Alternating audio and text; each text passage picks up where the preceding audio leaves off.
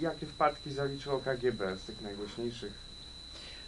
Jeden z, jedna z form działalności sowieckiej służby specjalnej to było KGB, czyli Komitet Bezpieczeństwa Państwowego. On działał od 1954 do 1991, kiedy rozpadł się, jak wiadomo, Związek Sowiecki. E, Kontynuacją KGB jest Federalna Służba Bezpieczeństwa, która ma podobne zadania, chociaż rozdzielono te zadania na wewnętrzne i zewnętrzne. Natomiast KGB to było wszystko. Zajmował się bezpieczeństwem wewnętrznym oraz organizowaniem różnych aktów Mm, o czym za chwilę powiem, na, za granicą. I co ciekawe, te wpadki mm, należy wiązać, te najważniejsze wpadki i najbardziej bolesne dla Sowietów, należy wiązać nie z czystą działalnością szpiegowską, ponieważ e, w jednym z podręczników e, KGB, który został przechwycony przez CIA i to była między innymi jedna z większych wpadek Sowietów, to było na początku lat 70., CIA oraz wywiady zachodnie dowiedziały się bardzo dużo na temat e, szczegółów działalności KGB. I okazuje się, że KGB przywiązywało o wiele większą wagę do a, tak środków aktywnego działania, a nie do szpiegostwa tradycyjnego. Środki aktywnego działania mm, to były trzy grupy, e, trzy grupy operacji. Mm, agenci wpływu wywierali wpływ na polityków e, i dziennikarzy zachodnich, Mm, bardzo dużą wagę KGB do tego przy, przywiązywało. Dezinformacja to była produkcja e, fałszywych dokumentów, e, które wywoływały konflikty między państwami zachodnimi oraz e, czyste akty terroru, którymi KGB zajmowało się do początku lat 60., a po wpadkach, o czym za chwilę powiem, bardzo słynnych wpadkach, Mordkomanda KGB na terenie RFN, KGB przekazało zadania tego typu e, zwykłym kryminalistom, którzy, byli, którzy pracowali dla e, służb sowieckich albo e, służbom specjalnym państw satelickich, głównie Bułgarom, Kubańczykom. Jak pamiętamy, Bułgar został zaangażowany między innymi w zamach na papieża. Teraz cofnę się do, do lat 50. W latach 50. największą wpadką była, była ucieczka dwóch morderców, płatnych morderców, oficerów KGB, e, którzy e, na zlecenie KGB, czytaj biura politycznego, bo trzeba dodać, że KGB nie było instytucją samodzielną, wykonywało, zwłaszcza za granicą, polecenia biura, biura politycznego Komunistycznej Partii Związku Sowieckiego. A więc na polecenie kierownictwa partyjnego e, najpierw agent o nazwisku Chochłow Y, miał dokonać mordu na działaczu rosyjskim, emigracyjnym działaczu rosyjskim Okołowiczu na terenie, na terenie Niemiec i on zbiegł w 50, w 54 roku i ujawnił właśnie wtedy kulisy działalności KGB, jeżeli chodzi o akty terroru, w tym polityczne mordy. E, co się stało? Kilka lat później e, inny agent, Bogdan Starzyński, miał dokonać e, mordu na ukraińskich działaczach. Między innymi zabił Banderę, o którym się dzisiaj zwłaszcza tak dużo mówi. I on także zbiegł do, na zachód, do Berlina zachodniego i także ujawnił szczegóły operacji sowieckich. I wówczas E, KGB właśnie postanowiło przekazywać tego typu operacje, bo jednak było ryzyko e, zaprzyjaźnionym służbom specjalnym, jak powiedziałem, głównie Bułgarom, Kubańczykom, a także Niemcom Wschodnim. I Tutaj mamy do czynienia później już z, zamachami, których dokonywali Bułgarzy na przykład, albo Rumuni. W, w 80 latach, przeskoczę od razu o parę lat później, bardzo mm, taką bolesną dla e, bloku wschodniego wpadką było zdemaskowanie operacji rumuńskich służb, e, które były zatrudnione, agenci byli zatrudnieni oczywiście w ambasadzie rumuńskiej na terenie Niemiec i mieli dokonać zamachu na mm, budynki Radia Wolna Europa w Monachium dla którego zresztą swego czasu pracowałem. I to było właśnie w okresie, kiedy byłem freelancem e, dla Wolnej Europy i mało brakowało, doszłoby właśnie wtedy do wysadzenia w powietrze budynków Wolnej Europy. Jednak służby niemieckie zdemaskowały mm, agentów rumuńskich i, I, wówczas właśnie e, to był jeden z dowodów potwierdzających, że e, Sowieci działają w ten sposób, że zlecają tego typu operacje E, zaprzyjaźnionym służbom e, z Europy, z Europy Wschodniej. E, Jeszcze chciałem dodać inny przypadek ciekawy, nawiązując do tej e, działalności e, terrorystycznej, e, jako że w 1964 roku mamy e, do czynienia z ucieczką innego agenta, oficera KGB, który się nazywał Jurij Nosienko i on ujawnił nie tylko szczegóły działania Mordkomanda KGB, ale także e, innego typu operacje, które mieszczą się w tej kategorii, mianowicie wskazał dokładne miejsca, dokładnie 44 miejsca w ambasadzie amerykańskiej w Moskwie, gdzie zostały umieszczone e, mikrofony, podsłuch.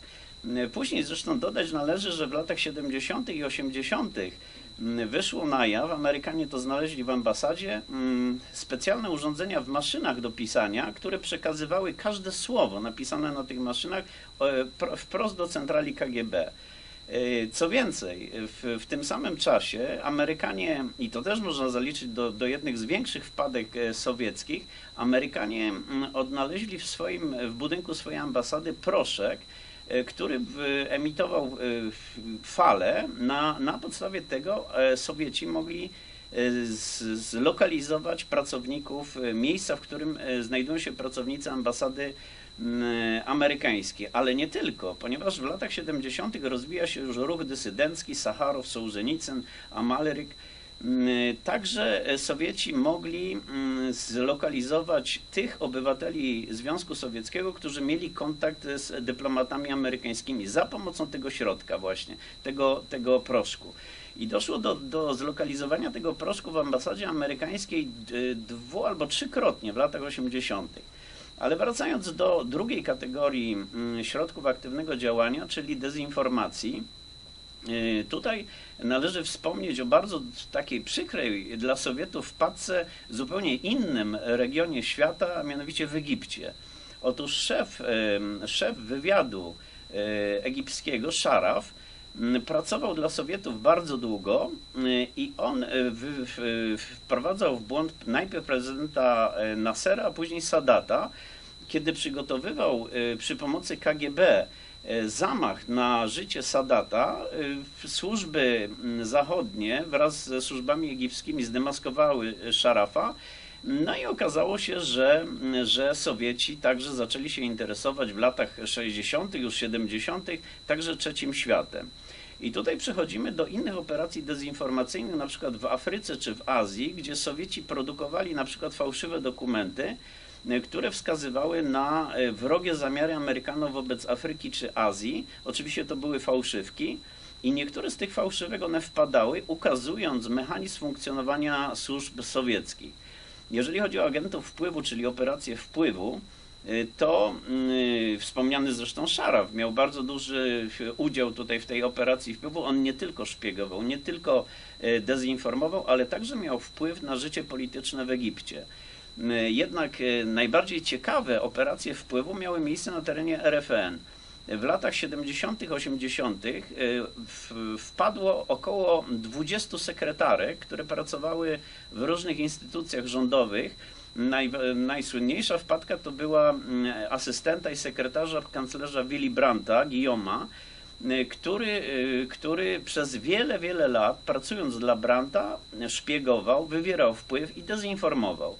E, Po tej wpadce, bardzo bolesnej dla Sowietów, chociaż trzeba powiedzieć, że agentem prowadzącym był tutaj wschodnio-niemiecki e, oficer, ponieważ na terenie Niemiec e, zachodnich, na terenie RFN, Sowieci posługiwali się agentami Stasi.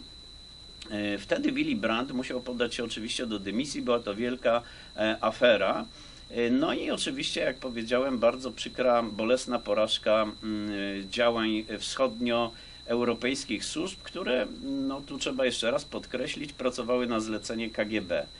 Mm, Także ciekawą sprawą była operacja prowadzona zupełnie na innym kontynencie, mianowicie w Meksyku. W latach 60. y, wyszło na jaw, że y, działacze związkowi meksykańscy otrzymywali bardzo dużo, duże sumy pieniędzy od KGB, by zorganizować rewolucję w Meksyku.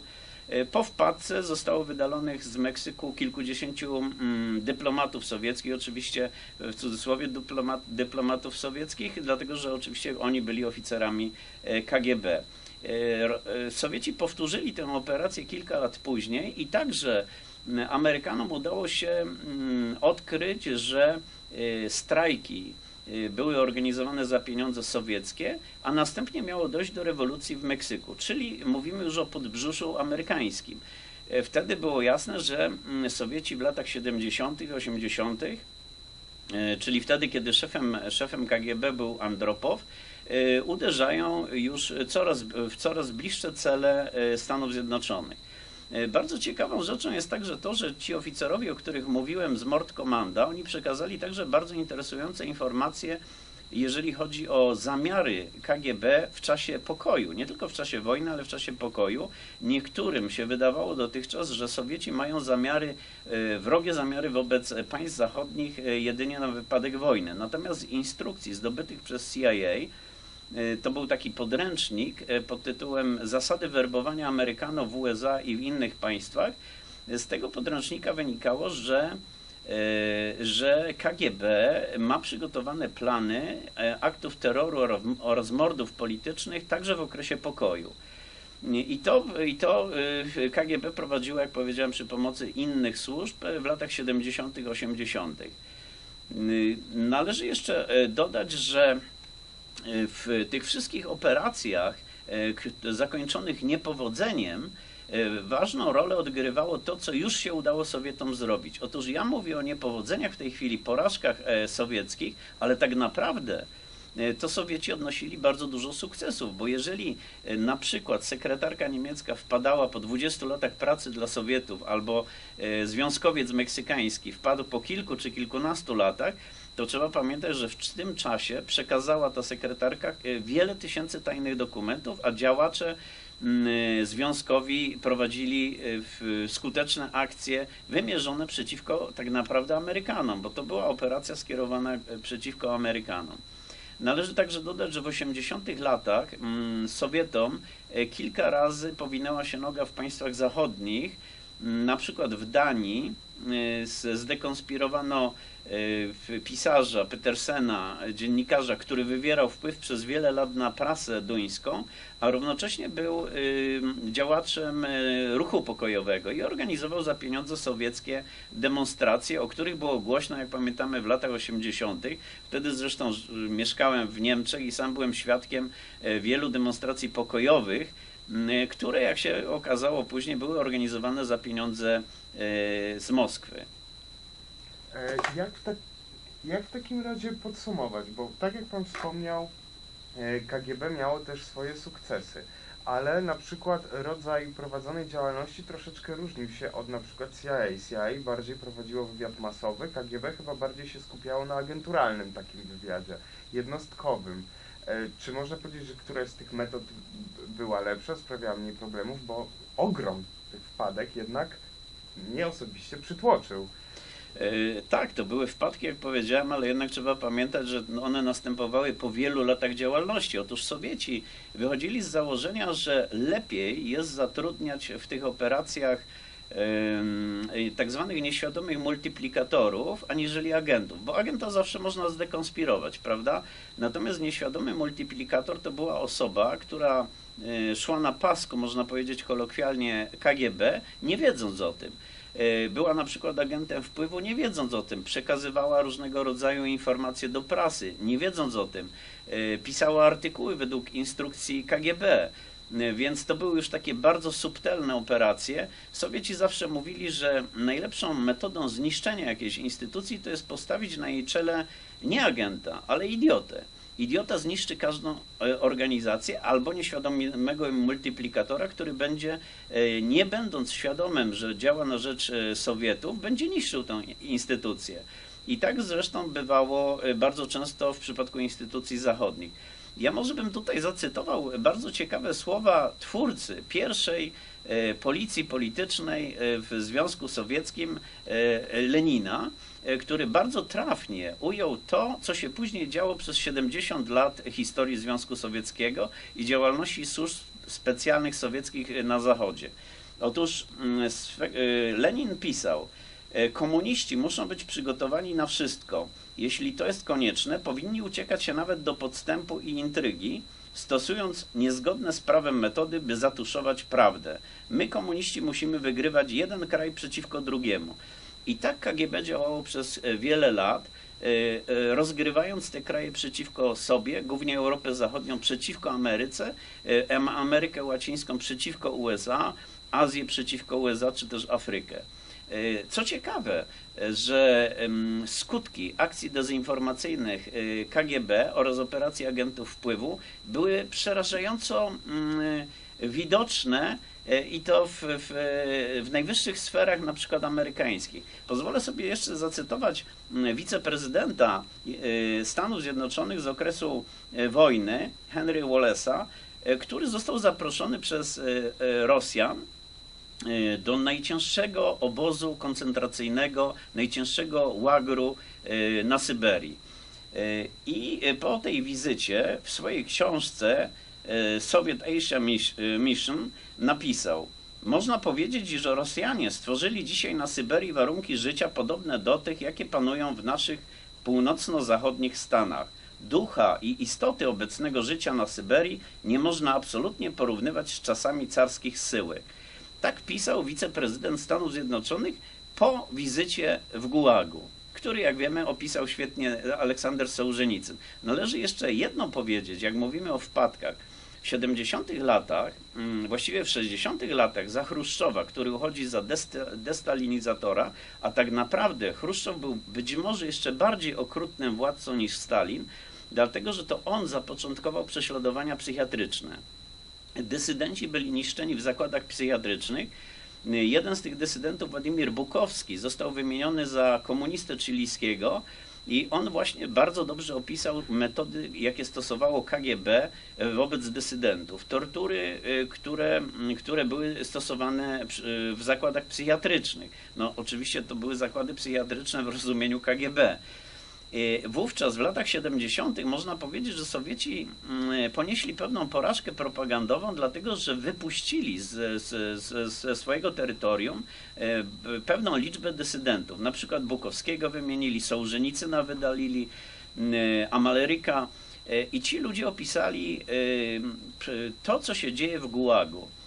Wówczas wizerunek oczywiście Rosji Sowieckiej czy też Związku Sowieckiego ten wizerunek ym, już nie był taki jak y, kilkanaście lat wcześniej, kiedy to pamiętajmy, intelektualiści zachodnioeuropejscy byli zafascynowani tym, co się dzieje w Związku Sowieckim. Y, Relacje dysydentów można powiedzieć, że były kolejną, kolejną porażką y, systemu opresyjnego, głównie y, służb specjalnych, czyli KGB. Ktoś sobie chciał poczytać o tym, to mógłbym polecić książkę. Ona jest jeszcze z lat 80. To jest pierwsza książka w ogóle w języku polskim, która ukazała się na, na temat KGB.